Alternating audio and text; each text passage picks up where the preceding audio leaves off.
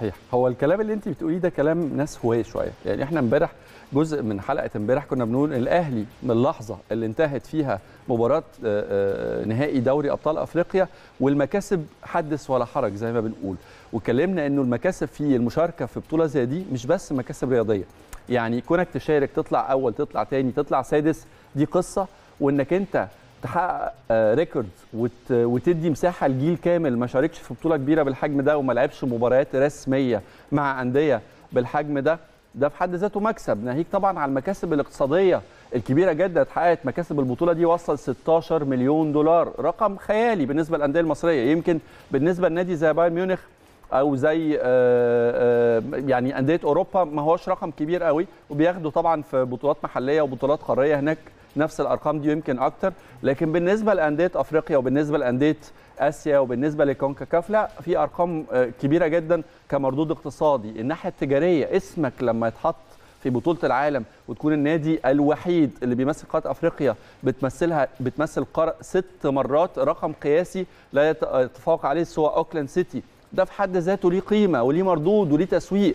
حجم الشعار ال- المردود بتاع شعار النادي الأهلي لما يتم استغلاله بعد مشاركته في البطولة دي في حتة تانية خالص. فإحنا بنتكلم على scale تاني على مستوى تاني خالص. مش هشغل بالي هشغل بالي بكراستنا. وكراستنا بتقول عندنا ماتش مهم جدا. وكل ما بيقرب على فكرة ميعاد الماتش بحس شوية للأسف الشديد إنه آه، يعني إنه في استسهال أو إنه إنه إحساس إنه المباراة مضمونة. أنا الحقيقة مش مطمن للقصة دي. وحاسس إنه خدوا بال حضراتكم آه ممكن يكون الدحيل مش في أفضل مواسم آه، أو أفضل موسم ليه مقارنة بمواسم كتير سابقة قبل كده. نتائجه السنة دي آه، فيها مشاكل عنده مشاكل في خطوطه ده حقيقي. لكن قصة المشاركة في كأس عالم الأندية دي قصة تانية خالص. ملهاش علاقة بمشواره وملهاش علاقة بعدد الأهداف اللي تلقاها وملهاش علاقة بنقاط الضعف اللي عانى منها على مدار السيزون. لو جبنا النهارده أي نادي في العالم وادينا له فرصة المشاركة هتشوف مستويات أداء مختلفة تماما. هتشوف لعيبة عندها دوافع وحوافز كبيرة جدا إنها تتألق في بطولة العالم كله بيتابعها شئنا أم أبينا.